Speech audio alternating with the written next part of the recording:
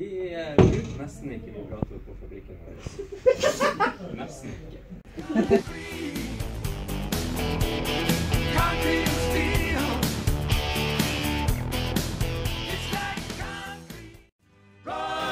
Concrete